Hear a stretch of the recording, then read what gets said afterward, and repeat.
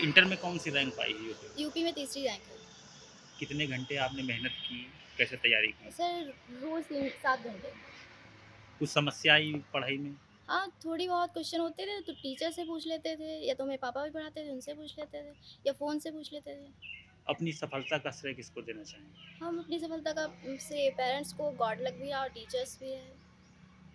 भविष्य में क्या करना चाहते भविष्य में मैं डॉक्टर बनना चाहती हूँ हैं।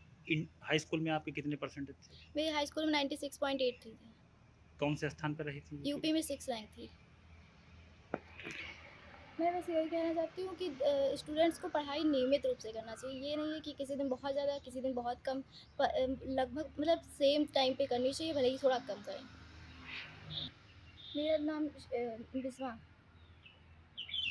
अगर आप ये वीडियो YouTube पर देख रहे हैं तो हमारे चैनल को सब्सक्राइब करें और बेल आइकन को दबाना ना भूलें। अगर आप Facebook पर यह वीडियो देख रहे हैं तो हमारे पेज को लाइक करें।